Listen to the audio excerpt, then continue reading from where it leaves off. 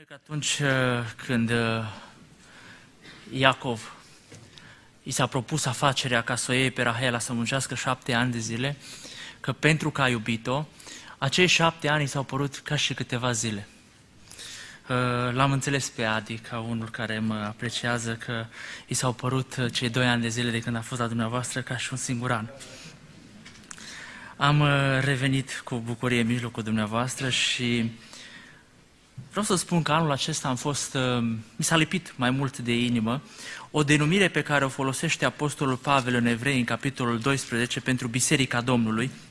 Zice el aici, în versetul 23, că noi nu ne-am apropiat de un munte, de, uh, care nu se putea atinge, ci ne-am apropiat de muntele Sionului, de cetatea Dumnezeului celui viu. Versetul 23, de biserica celor întâi născuți.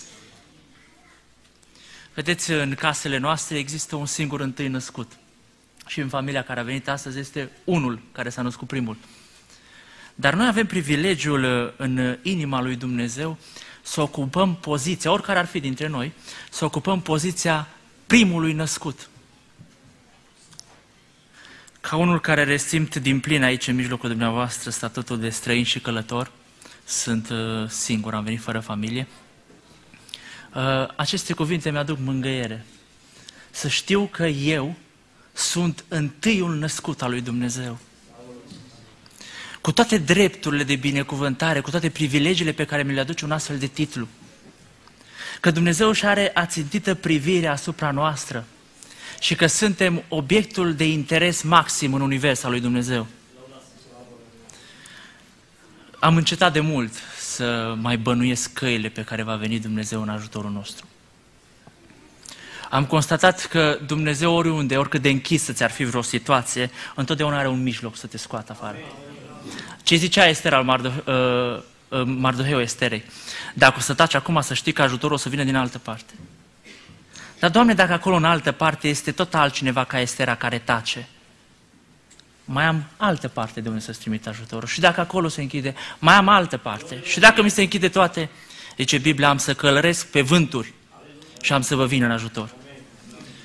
Mi-aduc aminte că odată într-o iarnă eram uh, puțin cam stresat din pricina cheltuielor, știți, în iarna, impozitul pe apartament, pe mașină, uh, căldura, cauciucuri de iarnă, cheltuieli mari. Și la salariile din țară e destul de greu să mai uh, poți face și alte cheltuieli. Și îmi dea seama că era timpul să schimb uleiul la mașină, deja trecusem de 15.000 de kilometri.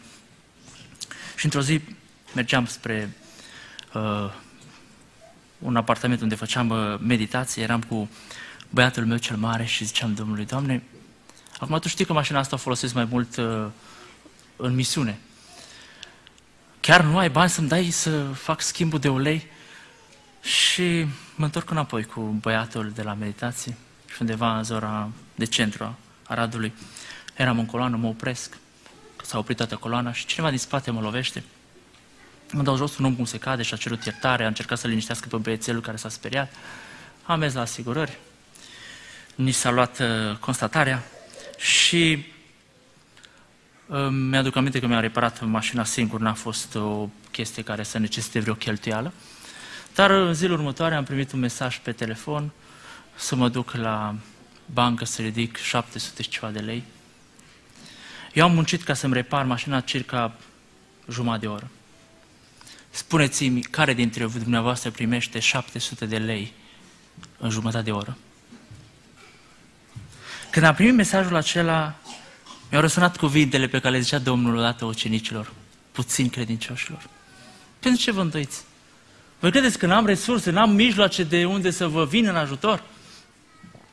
Avem un Dumnezeu care are întotdeauna soluție și poate să ne scape din, uh, din orice situație. De aceea, oricât de deznădăjduit ar fi vreo situație, putem să mergem cu încredere la Creatorul nostru că El poate să ne vină în ajutor.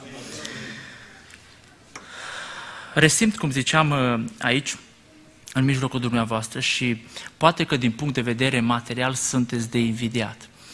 Uh, trăiți într-o țară prosperă și o duceți bine. Dar din punct de vedere spiritual uh, resimt un război mult mai puternic decât în țară.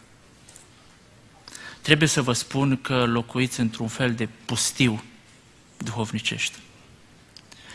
Nu vreau să spun că în țară o ducem ca în rai, dar uh, dau seama că forța vrăjmașului sau armele pe care le folosește ei sunt mai puternice.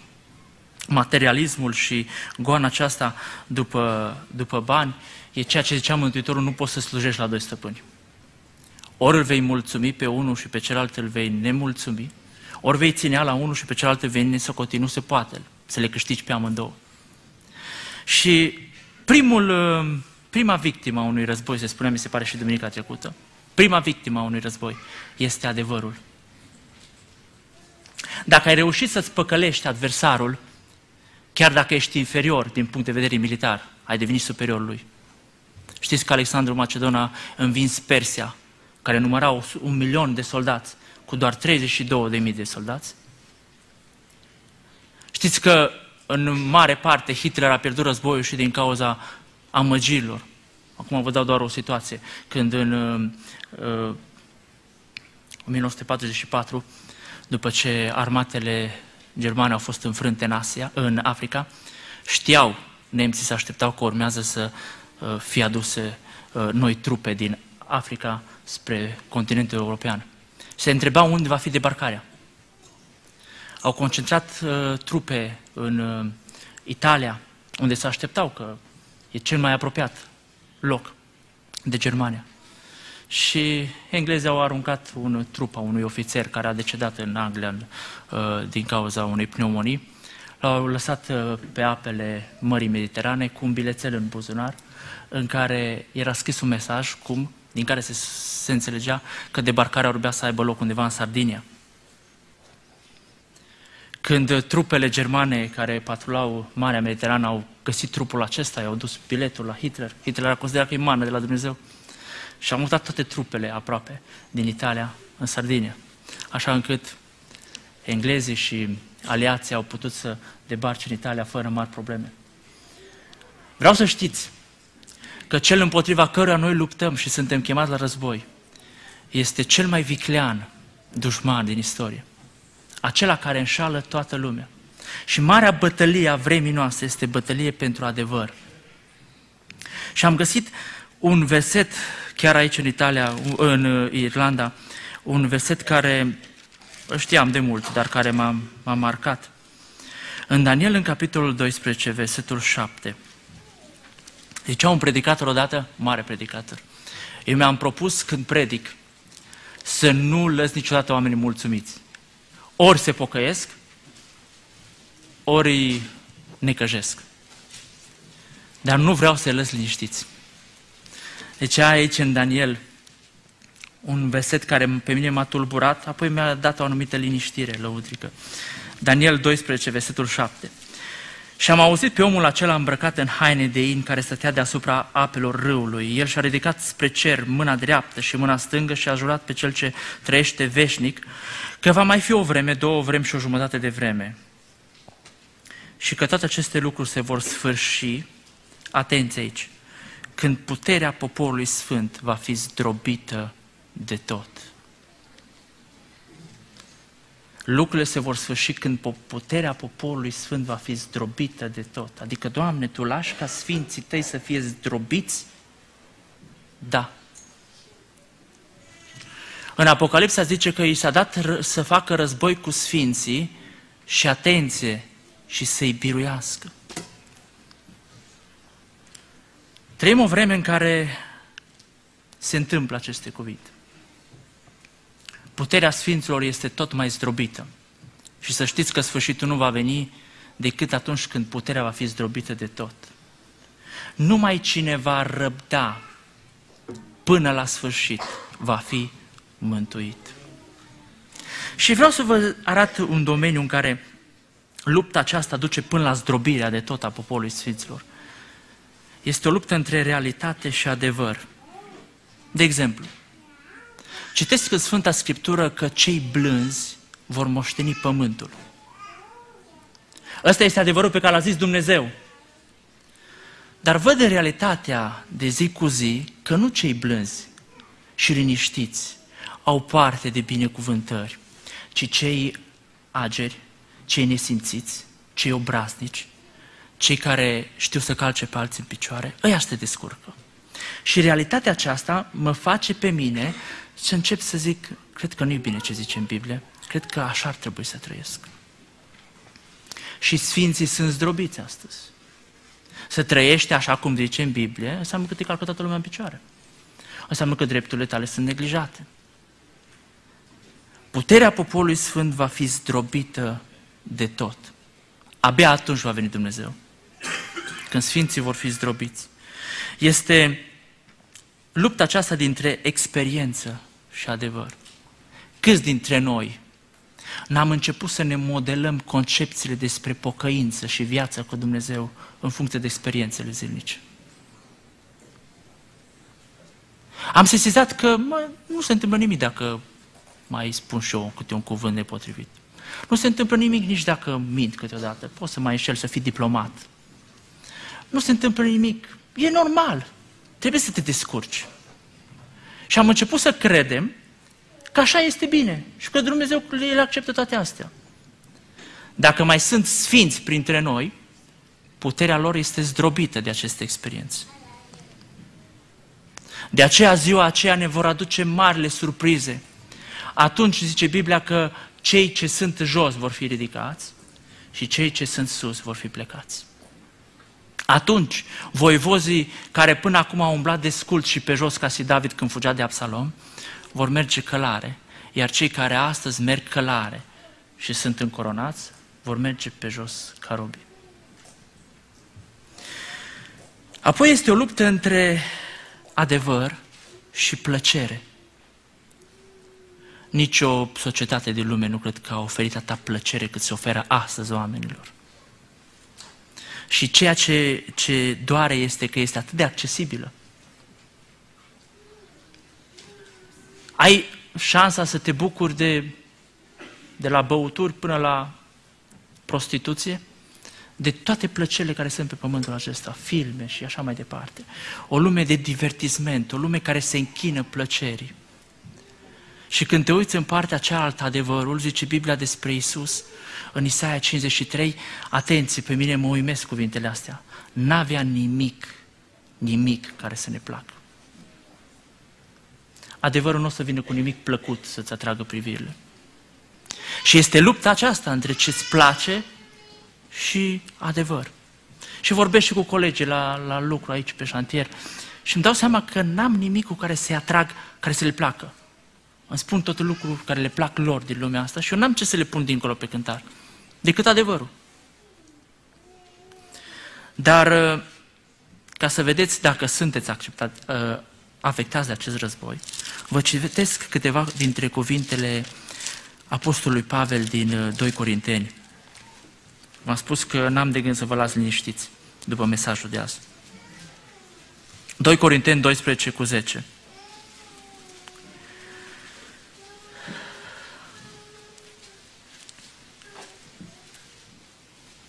De aceea simt plăcere.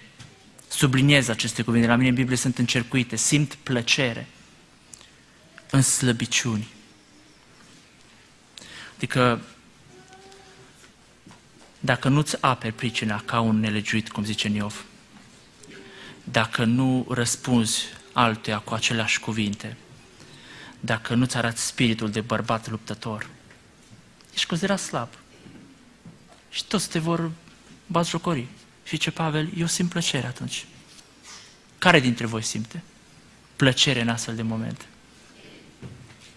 Vă dați seama cât de afectați suntem de acest război dintre adevăr și plăcere? Am început să ne culegem plăcerile cum ne le culeg oamenii din lume. Apostolul Pavel spune, noi suntem priviți așa ca niște întristați, dar nu știu că noi suntem veseli, de fapt. Noi suntem priviți ca săraci, dar de fapt stăpânim toate lucrurile. Ca neavând nimic, dar de fapt toate sunt ale noastre și așa mai departe. Simt plăcere în, de- în slăbiciuni, în defăimări. Cineva te vorbește de rău pe nedrept. Tu știi că nu e adevărul ăla care l-auzi la urechi despre tine. Și în momentul ăla, ce bine mă simt. Ce plăcere, îmi vine să cânt de bucurie. Simți asta? Așa a zis Apostolul Pavel, eu simt plăcere în defăimări. În nevoi, în prigoană, în strâmtorări. Se întâmplă, cum ziceam, să ajungi în momente de criză și să n-ai să-ți plătești nevoile zilnice. Și a zis, simt plăcere. Vedeți că suntem într-un război în care diavolul încearcă să ne păcălească. Și cum am zis, dacă a reușit dușmanul să te, să te inducă în eroare, ți-a devenit superior. Chiar dacă ai arme puternice, întărite de Dumnezeu, capabile să surpe întăriturile, dacă ești dus în eroare, deja e devenit inferior. Pentru dimineața aceasta, având în vedere că tema pe care o studiați de un timp este, sunt uh, păcate care distrug familia, vreau să citesc un verset din Proverbe, capitolul 14, versetul 11.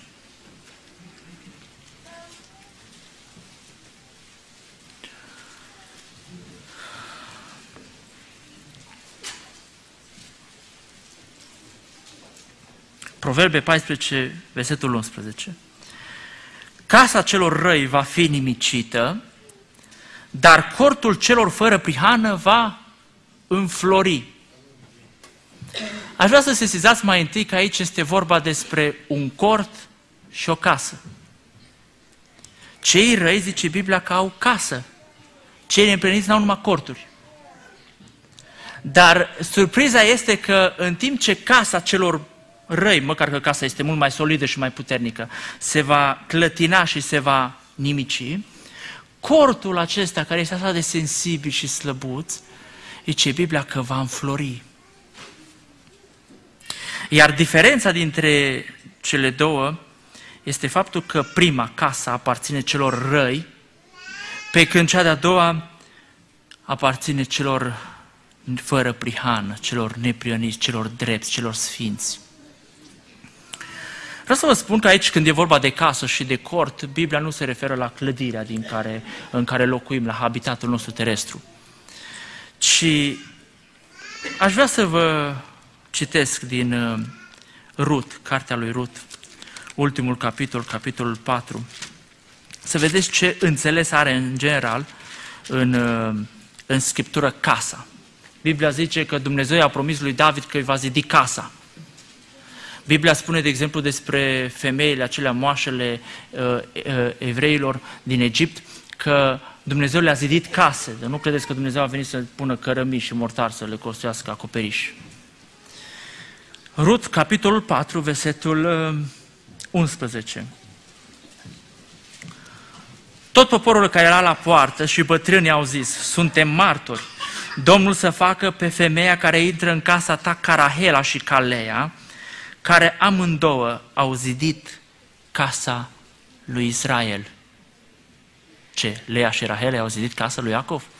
Păi Iacov a locuit în cortul toată viața lui, așa ne se spune în epistola către evrei, că și Avram, și Isaac, și Iacov au locuit în cortul toată viața ca unii care erau moștenitori ai aceleași făgăduințe a lui Dumnezeu, că așteptau cetatea viitoare și nu aveau aici o cetate stătătoare. Ce casă a avut Iacov? Lea și Rahela i-au făcut copilul lui Iacov. Asta a făcut. Și a făcut o familie. Și asta este casa din Biblie. O familie care a venit și astăzi la binecuvântare. Ei, casa aceasta, adică familia celor răi, va fi nimicită, pe când casa, familia celor fără prihană, va înflori. Chiar dacă pe moment cei răi au casă, cum ziceam, că gândiți-vă la Esau, că a fost mult mai favorizat decât Iacov. Esau a primit tot de la, de la taică sau Iacov a trebuit să muncească 20 de ani să aibă ceva. Uh, Ismael a fost uh, mai favorizat decât, uh, decât Isaac. Că Ismael a avut 12 copii, Isaac n-a avut numai doi și ea cu probleme între ei. Dar uitați-vă în istorie, în timp, să vedeți cum casa lui Israel, a, cortul lui Israel a înflorit, pe când casa celor răi a fost nimicit. Păcatul despre care vreau să vorbesc, probabil ați bănuit în această dimineață, este răutatea. Indiferent ce casă ai avea, ce familie ai avea, ce slujbă ai avea, răutatea va nimici casa aceea. Dar acolo unde este neprănire, avem promisiunea din Sfânta Scriptură că acolo va înflori, familia respectivă va înflori. De fapt, citeam undeva o meditație pe care mi-am și notată pe peretele casei să o văd mereu și să le imprim copiilor să știe că nici adevărata bogăție, nici adevărata sărăcie nu sunt în casele oamenilor, ci sunt în sufletele lor. Odată am mers la școală după băiețel și pentru că am ajuns mai repede, m-am plimbat pe coridoare și am sesizat pe, pe ușa unei clase o povestire și am stat și am citit-o. Era vorba de un băiețel, nu știu dacă nu v-am zis o dată trecută. Era un băiețel care uh, făcea parte dintr-o familie bogată, era singurul băiat al familiei. Și a fost uh, lăsat de către tatăl uh, său bogat într-o zi uh, la o familie mai săracă care stătea undeva la marginea localității, săraci mulți frați, să vadă cât de rău o ducă ea și cât de bine o duce el să fie mai mulțumitor și recunoscător părinților. Și după ce a trecut noaptea respectivă, a doua zi, când a venit copilul acasă, tata l-a întrebat, Nana, cum a fost acolo? Și copilul a zis, tati, ne avem un câine. Ei au patru. Nu aveau gard la casă și câinii vagabonzi și aveau adăpostul pe lângă casa lor. Tati, noi avem o piscină în curte. Ăștia au tot lacul de la marginea satului, e a lor. Tati, noi avem o curte, dar e mică. A lor toată pădurea e a lor. Tati, noi avem uh, un acoperiș deasupra casului. La ei noaptea când te culci, cerul întreg îi acoperă. Îți mulțumesc, Tată, că m-ai lăsat să văd cât de săraci suntem. Un copil a socotit că tot ce are tata și mama e sărăcie față de bogăția pe care aveau ceilalți. De fapt, bogăția unui om, cum ziceam, stă în sufletul său. Cât de bine reușește să înțeleagă cu ceilalți și cât de fericit este acasă. Goethe spunea că uh, împărat sau om de rând, fericit este cel care își găsește fericirea acasă. Dar acolo nu ești fericit, nu știu unde mai putea să fii împlinit și fericit. De aceea, în această dimineață, mi-am propus să vorbesc împotriva răutății. Că așa zice Biblia, că noi nu avem de luptat împotriva cărnii și sângelui, ci împotriva duhurilor răutății.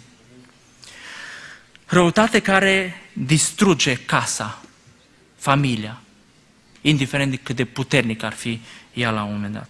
Și aș vrea să vă arăt uh, din Sfânta Scriptură trei forme de manifestare ale răutății. În primul rând, este o răutate manifestată în judecățile noastre, în raționamentele pe care le facem. Fiecare dintre noi avem informații despre ceilalți, dar este ispita noastră naturală de a adăuga la aceste informații, de a face un fel de extensie a lucrurilor pe care le auzim despre cineva și a începe să emitem niște judecăți despre o persoană. Auzi despre cineva o faptă, ceva, a făcut ceva. Și imediat adaugi la ea în mintea ta, zici, a, faci o conexiune cu nu știu ce ți-a mai întâmplat, ce mai știi și îți creezi un fel de, de lume interioară în care începi să-l acuzi pe celălalt. Ce vreau să vă spun este că, în general, aceste extensii ale informațiilor pe care le avem sunt bazate pe răutate. Zice, apostol, zice Solomon în Eclesiastul, capitolul 3.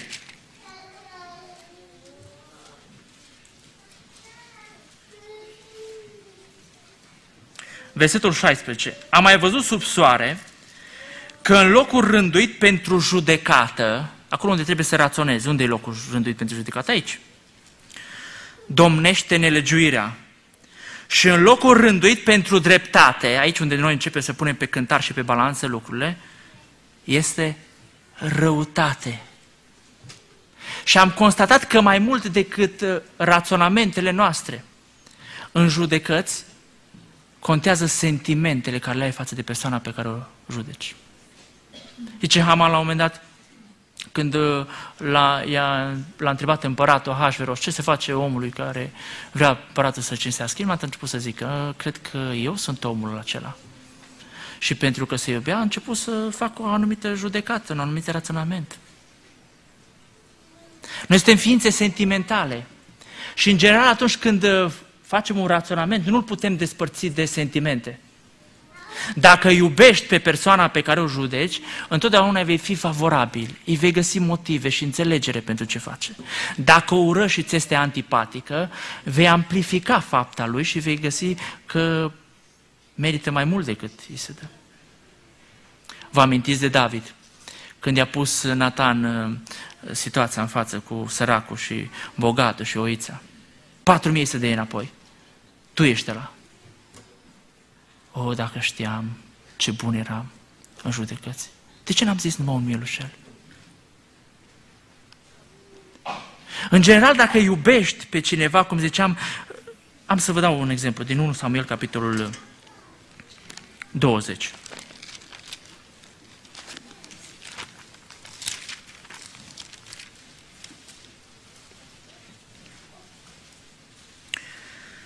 Aici e vorba de doi oameni, e vorba de Saul și de Ionatan, care amândoi au în față același caz, David. Nu mai știți că Saul îl ura pe David, iar Ionatan îl iubea pe David ca pe sufletul din el. Și auziți ce zice Biblia în versetul 25. Împăratul a șezut ca de obicei pe scaunul lui lângă perete. Ionatan s-a sculat și Amner a șezut lângă Saul. Dar locul lui David a rămas gol. David absent de la părtășie. Și Saul începe să judece. Saul n-a zis nimic în ziua aceea că zicea el. S-a întâmplat el. El nu este curat. Negreșit, nu este curat. Lipsește David, înseamnă că nu e curat. Dați-mi voie să vă întreb, era vreun om mai curat ca David la ora aia în Israel? Mai sfânt ca ăsta? Peste care Dumnezeu a pus ungere, a lepădat pe frații lui mai mari și l-a ales pe David, l-a luat de la, din spatele lor și l-a pus ca rege peste Israel, că l-a iubit și a zis, mi-am ales din rândul poporului, mi-am ales un tânăr care va vesti legile mele și cântările Domnului. Și Saul, în judecățile sale firești, a zis, nu, David nu-i curat, e murdar. Vedeți cum uh, sentimentele care le avem față de cineva ne vor colora judecățile noastre. De aceea, prima, prima formă de manifestare a răutății este în judecăți nefavorabile celuilalt. De câte ori oare nu adaug, sun pe cineva și nu-mi răspunde, îl sun încă o dată, nu-mi răspunde. Dacă mi este prieten, nu înțeleg. Mă, poate e plecat din țară și nu vrea să răspundă că îi mănânc creditul. Poate nu aude telefonul, cine știe, poate pe silent. Dar dacă nu mi este prieten, zic, a, nu vrea să răspundă, îl aude.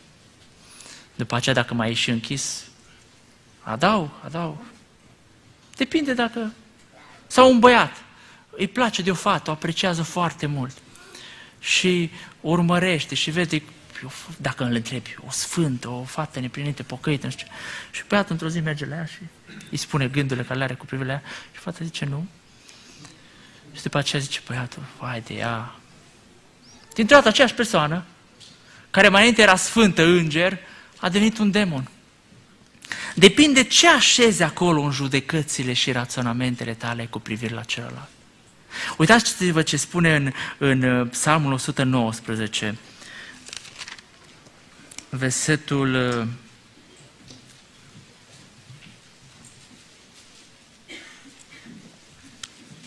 39. Uh,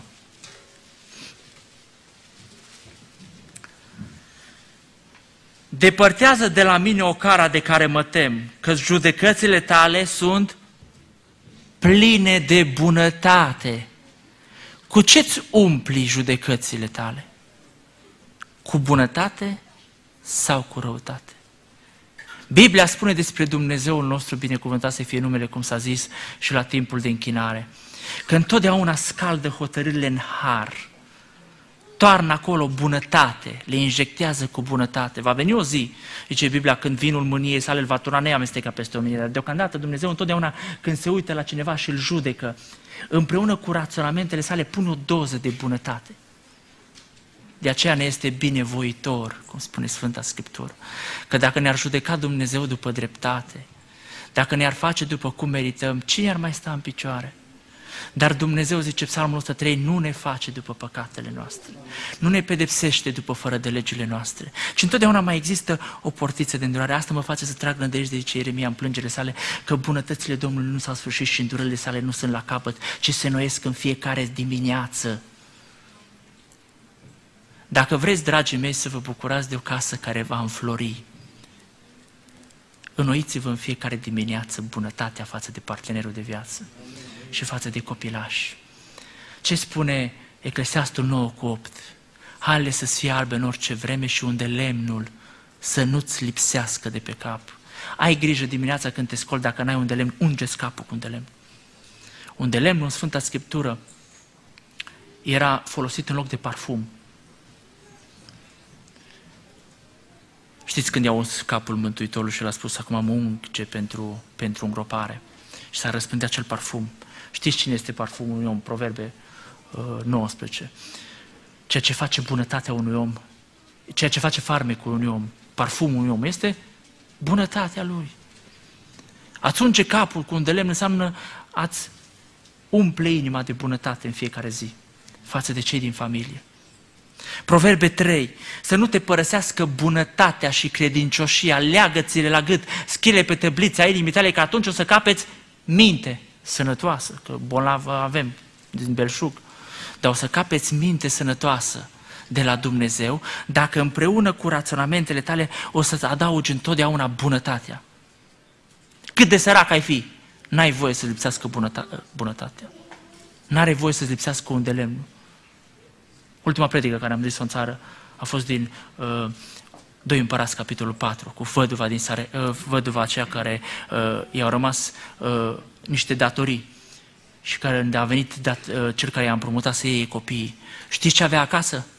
Puțin un de lemn. Cât de sărac ai fi, n-ai voie să-ți lipsească de acasă puțin un de lemn. Nu zadarnic apare un de lemn, că putea să ai, aibă altceva. Dar un de lemn are un simbol special în Sfânta Scriptură și în primul rând un de lemn simbolizează bunătatea. Spune tot aici Psalmul 119, că avem Sfânta Scriptură deschisă, versetul 130. Descoperirea cuvintelor tale dă lumină, dă pricepere celor fără, fără răutate. V-ați gândit vreodată că măsura în care înțelegem noi adevărul lui Dumnezeu depinde de răutatea sau bunătatea din inimă? Nu depinde de câte studii, teologice ai, nici de câte cărți ai citit. Măsura în care citesc și înțeleg adevărul depinde de răutatea sau bunătatea inimii mele. Te lau, Tată al cerului și al pământului, că ai ascuns aceste lucruri de cei înțelepți și pricepuți și le-ai descoperit pruncilor, adică celor fără răutate, că ei ne sunt dați în Scriptură de exemplu la răutate. Lor li se descoperă adevărul lui Dumnezeu. Spunea Domnul Iisus Hristos în Evanghelia după Matei, capitolul 7, cu ce măsură măsurați, vi se va măsura și cu ce judecată judecați, veți fi judecați. Știu când mă ridic aici în fața dumneavoastră și am ezitat să accept să predic aici, că pentru faptul că stau în fața dumneavoastră, eu voi avea parte, poate voi priviți ca un privilegiu să stai în fața la sute de oameni și să le vorbești. Dar vă știți că pentru asta eu voi fi judecat separat de voi. Știți că eu voi fi judecat cu o altă măsură? Că Dumnezeu îmi va face mie o judecată mai aspră, zice Apostolul Iacov. Și voi credeți că Dumnezeu ne va chema la judecată într-o zi, cum zice Sfânta Scriptură, pentru toate faptele noastre vom fi chemați la judecată. Dar uh, credeți că Dumnezeu în ziua aceea va pune un etalon și pe toți îi judecă? Nu, nu. Zice Biblia că pe cei buni îi va judeca cu bunătate pe cei răi îi va judeca cu răutate. Cu ce măsură ai judecat tu pe pământul ăsta, cu aia te va judeca Dumnezeu atunci? Așa ai cântărit, așa ți se face. Atât ai pus răutate în judecăți, așa pun și eu răutate. Cum ai vrea în ziua aceea să te privească Creatorul, Stăpânul, când te judecă? Când îți deschide cărțile și îți analizează faptele vieții tale? Când va scoate la iveală lucrurile ascunse? Ce mult aș vrea să găsesc un Dumnezeu îngăduitor atunci. Să zic că te înțeleg și cu asta, și cu asta. Dar atunci când eu sunt pus să judec pe cei din casa mea, cum o fac? E prima, prima manifestare a răutății este în judecățile noastre. Gelozii. Uh, mi-aduc aminte că am uh, aflat despre o familie, am fost foarte întristat. Fratele plecase în străinătate, sora rămăsese acasă și ceva prieteni i-au șoptit lui în ceva scrisori că soția l-ar fi înșelat în țară. Și fratele a dat crezarea acelor cuvinte. Când uh, a fost adusă și ea în străinătate, uh, bănuielile lui, aceste stări lăuntrice care le ascundea în sine, firea lui pământească, au început să se dezvolte tot mai mult, tot mai mult. Și într-un moment de mânie am pușcat-o. A murit și sora, iar el este pușcărie pe viață. Și totul a pornit de la niște informații false, neautentice, și de la o inimă, o inimă rea. Că dacă inima ar fi fost bună, s-ar fi topit toate acele informații. Gelozia este o faptă a firii pământești. Dar atunci când tu ai în tine răutate și primești o informație despre cineva, nu știu, un experimentul ăsta, ce se întâmplă în unirea dintre ele, se nasc niște raționamente diabolice. Așa se explică certurile, așa se explică vorbele de ocară, așa se explică divorțurile între persoane care s-au iubit, care și-au jurat credincioșie până la moarte, care au făcut copii împreună și care se despart. Pentru că împreună cu răutate o informație parțială te duce la raționamente diabolice. O altă formă de manifestare a răutății este în, în cuvinte, în vorbire. Proverbe, capitolul 15, versetul 1.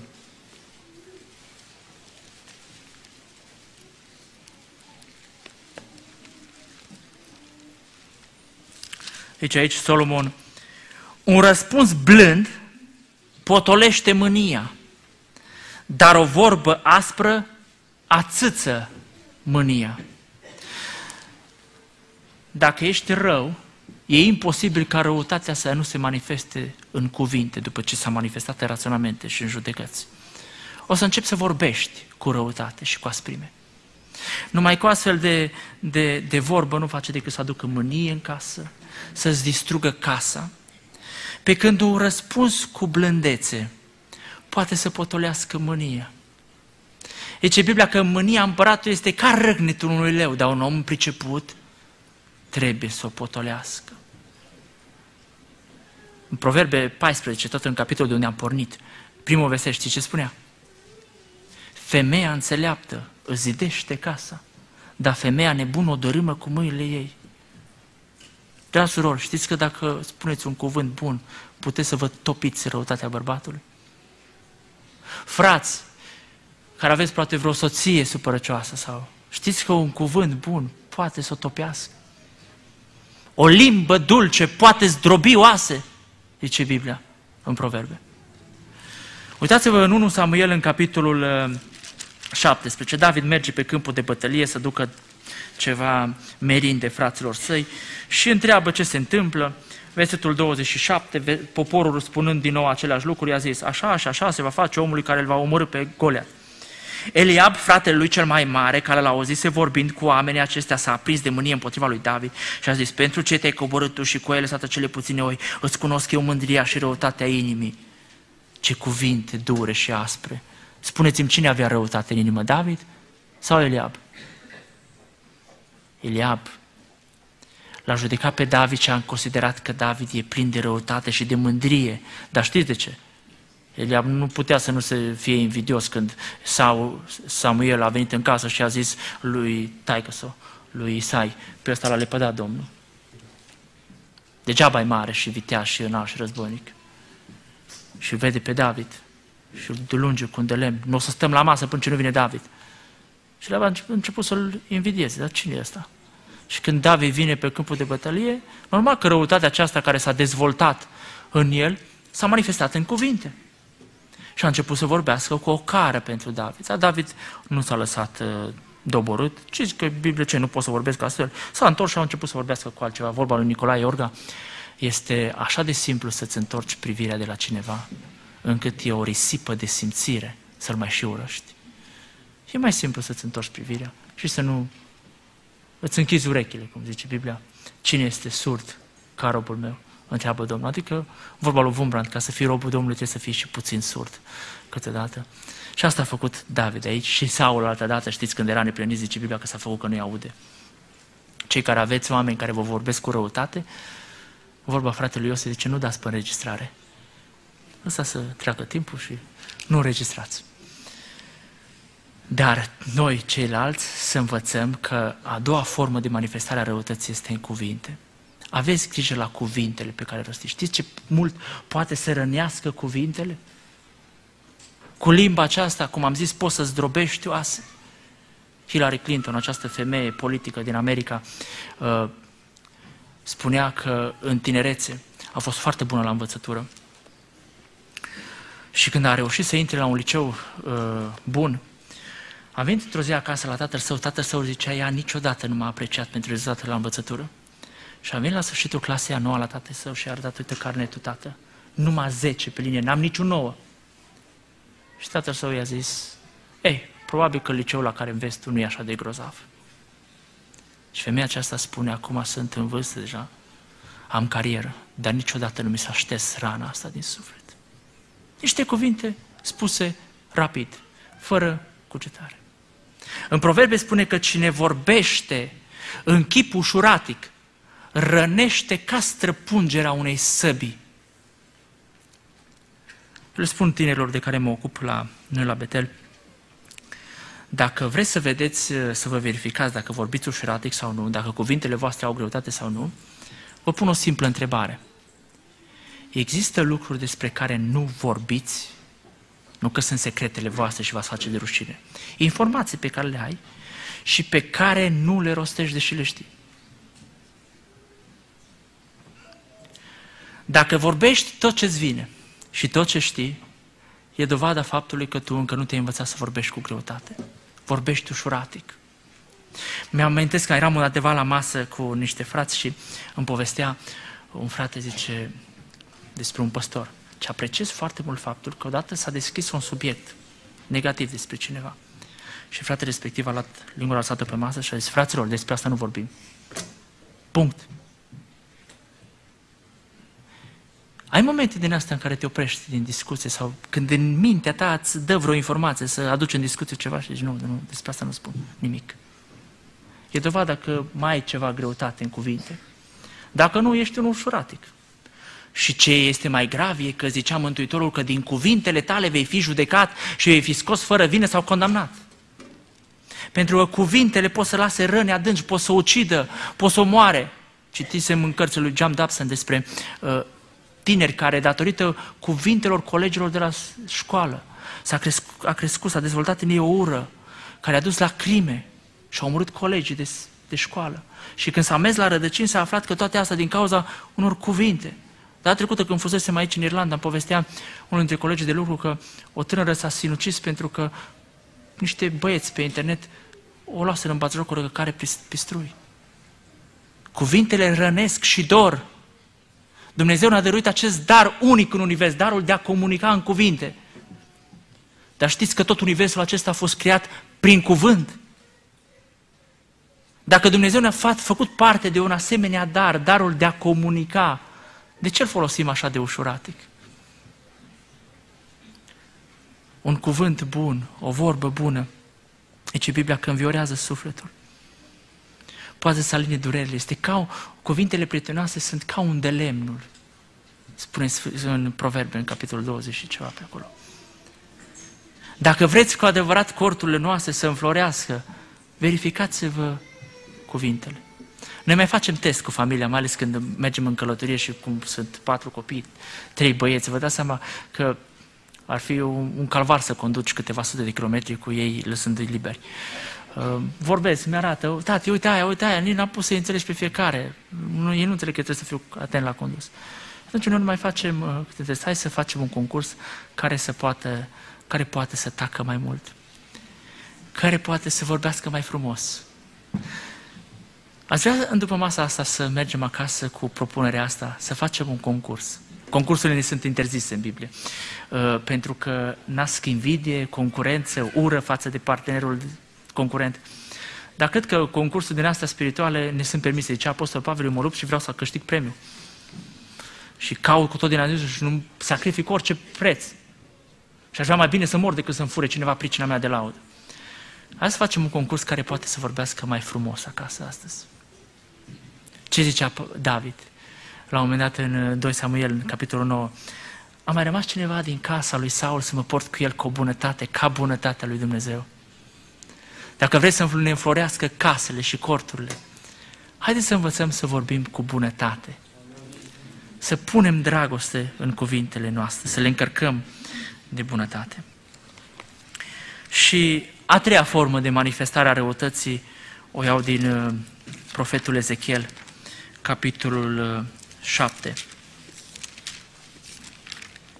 versetul 11.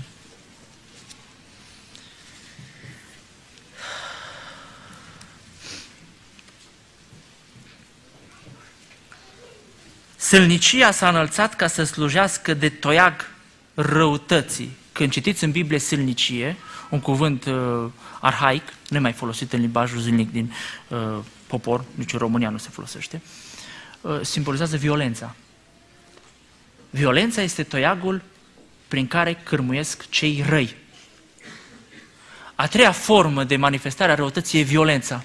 Când un om devine violent, e treapta probabil cea mai înaltă, care poate duce până la crimă, a răutății de la judecăți, ca nu le știe nimeni. Nimeni nu știe ce impresie și ce judec eu despre frații de aici, despre fiecare. Apoi, cuvinte care deja încep să se exteriorizeze și deja îți dai seama, ăsta are ceva în inimă. Până la al treilea treaptă, violența. Când un om devine violent, este forma în care domnesc cei răi. Toiagul răutății este violența. Știți că Biblia spune că pe vremea lui Noe oamenii erau plini de sâlnicie, adică de violență. Știți că astăzi societatea a ajuns uh, la trepte uh, inimaginabile de violență. Uh, nu numai în mass media ce, ce vedeți în filme, dar uh, tineri în școli se luptă în România împotriva violenței și dacă știți ce se întâmplă pe coridoarele și în toaletele școlilor, uneori mă tot întreb să-mi trimit copiii la școală sau nu. Ca unul care lucrează în învățământ și fac servici pe școală, știu nu numai de violența în limbaj, de violența fizică dintre oameni. Este dovada faptului că lumea în care trăim se apropie de asfințit. E timpul unui alt potop, cum zice Petru, că este păstrată lumea de acum pentru, pentru al doilea potop. Uh, vreau să revin uh, la 2 Samuel, capitolul uh, la 1 Samuel, capitolul 20, versetul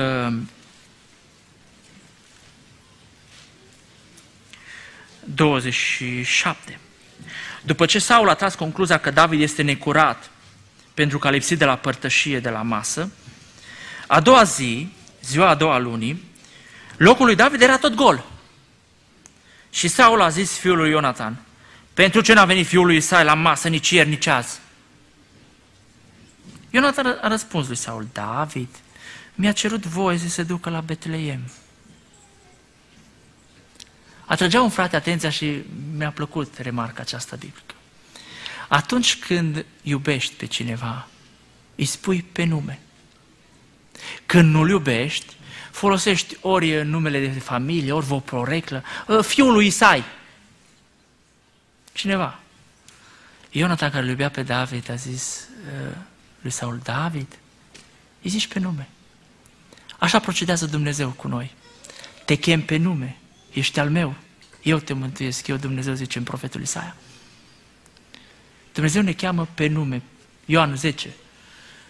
Domnul este păstor și El își cunoaște oile pe nume, le cheamă pe fiecare pe nume. Stelele cerului, zice Biblia, că le spune pe nume și una nu lipsește, pentru că Dumnezeu e plin de bunătate, iată cum bunătatea se, se manifestă în cuvinte. Iar răutatea la fel se manifestă în cuvinte care pot să ducă până la violență. cum a făcut David mai târziu, știți, cu uh, Saul, cu, cu David, când uh, venea Duhul cel rău peste, peste Saul, cum vrea să-l pironească de, de perete. În uh, Proverbe, în capitolul 26, versetul 27, uh, În general, violența este o formă de, de răzbunare față de, de cineva care a trecut limitele îngăduirii. Cine sapă groapa altuia, cade el în ea și piatra se întoarce peste cel ce o prăvălește. Iubiți frați și surori, nu poți să semeni în vânt și să seceri grâu. Dacă seceri vânt, o să culegi furtună dacă ne permitem să fim violenți. Și sunt de acord cu pedeapsa fizică la copii și chiar o propovăduiesc și aduc argumente în favoarea ei. Dar de la pedeapsa fizică până la violență, este o distanță. ce Solomon în proverbe, pedepsește copilul, dar nu dori să-l omori. Există de multe ori din cauza epuizării fizice și psihice a stărilor în care trăim, cum ziceam, că trăim o vreme foarte grea din punct de vedere spiritual. Materialul o duceți bine. Dar veniți acasă obosiți, stresați, o lume care vă fură tot timpul și vă așteaptă acasă niște copii plini de energie și copii care, cărora le lipsiți și care fac tot felul de prostii. Și atunci, din cauza stresului, a oboselii, de multe ori trecem peste limita rezistenței noastre și ne comportăm cu violență cu copiii noștri. Asta este un păcat. Să-ți abuzezi fizic copiii. Mi-aduc aminte că odată l-am pedepsit pe unul dintre copii, m-a supărat, făcuse ceva rău. Cel puțin așa pusesem eu piesele cap la cap.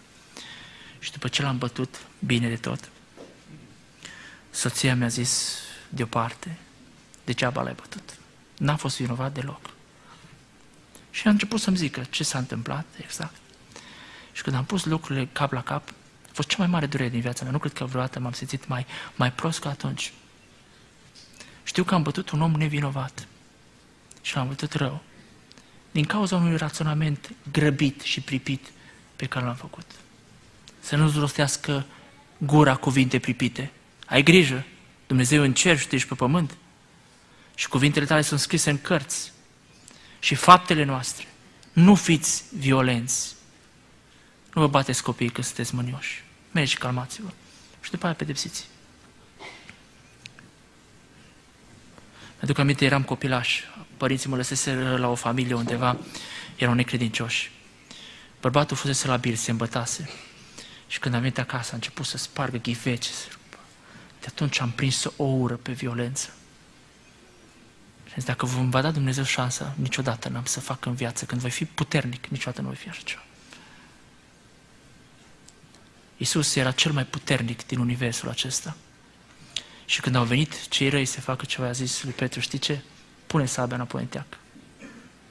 Dacă aș avea nevoie de forță, 12 legiuni de îngeri mi-ar fi pus la îndemână. Noi suntem întâi născuți al lui Dumnezeu, de ce ne comportăm ca niște slugi fricoase, repede să scoatem sabia? Stați niștiți. Dacă e în pericol, îngerul lui Dumnezeu sunt la îndemâna noastră. Ei sunt niște duhuri slujitoare trimise de Dumnezeu să îndeplinească o slujbă pentru cei ce vor moșteni mântuirea. Nu fiți niciodată violenți. Dacă vrei să ne bucurăm de o familie frumoasă care să înflorească, cum citeam în proverbe, aveți grijă la raționamentele voastre, puneți bunătate acolo.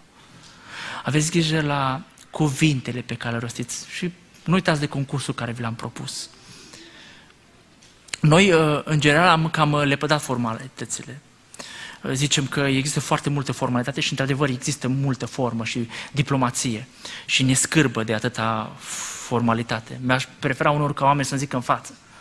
Dar din cauza acestei scârbă față de formalitate, am pierdut, din păcate, și conținutul. Că dacă n-ai formă, unde vrei să duci conținutul? Dă-mi apă, în ce? Păi ai nevoie de o cană, de un pahar, de ceva. Când ai vorbit ultima oară cu soția așa gingaș și cald, ca și când erați prieteni. Haideți să facem un astfel de concurs. Și în al treilea rând, nu fiți violenți niciodată. Biblia nu ne permite să lovim pe cineva decât pe copilaș cu scopul îndreptării comportamentului, dar fără mânie, cum am zis, și limitele uh, dragostei și ale bunătății. Și în încheiere vreau să vă las cu un gând. Pentru cei care probabil ați fost atinși de câte ceva din cuvintele care au fost zise aici, spune în Ioan în capitolul 21, când Mântuitorul îl întrește pe Petru după înviere, că Domnul întreabă pe Petru, Simone, fiul lui Iona, mă iubești tu mai mult decât toți ăștia? Dacă eram în locul lui Petru, începeam să mă întreb, Doamne, te iubi, te iubesc. Dar de ce te interesează pe tine ca eu să te iubesc mai mult decât toți ceilalți? Și mi-am amintit de momentul în care Domnul Iisus Hristos era în casă la Simon Leprosu. Și a intrat acolo femeia aceea păcătoasă și a început să-i spele picioarele cu lacrimile sale și Simon a început să zică, dacă ăsta ar fi proroc, ar ști că femeia este o păcătoasă, nu a lăsat să fie atins de el. Și Domnul care îi cunoștea gândurile a început și i-a zis, Simone, uite, îți spun uh, un caz în față, erau doi datornici, unul datora unui cămătar 50 de lei, altul 500 de lei, pentru că nu aveau cu ce să ierte, cu ce să plătească, i-a pe amândoi. Spune-mi, care dintre cei doi îl vor fi iubit mai mult pe cămătar? Și mă zice, socotesc că cel care i-a mai mult drept ai judecat. Vezi acum? Uh, ție, ți s-a, te-am iertat puțin? Nu-i de mirare că nu mă iubești puțin, nu mi-ai dat nici sărutare, nu mi-ai dat nici apă să mă spăl picioarele, uh, mai privit ca pe un străin, am intrat în casa ta. Dar uite femeia asta, pentru că i-am iertat mult, uite la ea, îmi spală picioarele, mi le, mi le șterge cu părul capului ei și mi le sărută mult. E dovada că mă iubește mult, pentru că i-am iertat mult. Și acum mă, înțerc, mă întorc la Petru. Petre, dacă ar fi pus Petru întrebarea care am pus eu, i-ar fi zis Domnul, Petre, tu știi că niciunul nu mi-a greșit când mi-ai greșit tu. Tu te-ai jurat că nu mă cunoști. Te-ai legat cu blestem, te-ai blestemat, că nu știi cine sunt. Niciunul n-am să lepădat de mine ca tine. Acum știi ce? Dintre toți ăștia care sunt prezent, mă aștept ca tu să mă iubești mai mult decât toți că ți-am iertat cel mai mult. Dragii mei, toți aceia care am fost răi până acum. Ați vrea să întoarcem răutatea asta să fim cei mai buni? Cei care în familie ați vorbit cel mai urât, să vorbiți cel mai frumos. Domnul să ne cerceteze și să știți că cine aleargă să câștige premiul, cine aleargă în așa fel încât să câștige premiul, vine o zi în coronării. Astăzi nu vedem valorile așa cum sunt, cum am început la început, cum am zis la început. Dar vine o zi în care Biblia spune că acei care astăzi n-au fost observați, n-au fost mari, vor fi înălțați împreună cu Domnul. Abia atunci își va scoate Dumnezeu comorile din istorie. Și îți vedea oameni pe care poate nu i-ați cunoscut niciodată, pe care nu n-au impresionat cu nimic în lumea asta, cum vor sta la masă cu Avram, cu Isaac și cu Iacov. Povestea odată un frate a citit undeva într-o carte, o întâmplare. A avut o, o răpire sufletească și a ajuns în cerul și acolo erau multe case în construcție, erau șantiere întregi. Și fratele era curios să vadă ce a construit el și i-a arătat Domnul, i-a dus să vadă și casa care a construit. Toate erau în construcție, încă nu erau finalizate. Și în momentul în care el urmărea șantierele de acolo, s-a auzit un glas, zice, atenție, se face o livrare specială. Asta ce O văduvă săracă de pe pământ dăduse ceva pentru Domnul. Și cum a zis Mântuitorul în Evanghelie despre văduva aceea care a dat doi bănuți, a dat mai mult decât toți, veți vedea într-o zi că Dumnezeu va scoate din zgură, din împrejurări care, pe care voi nu le știți și nu le știm, pe care nu le observăm noi. Îți va scoate Dumnezeu comorile.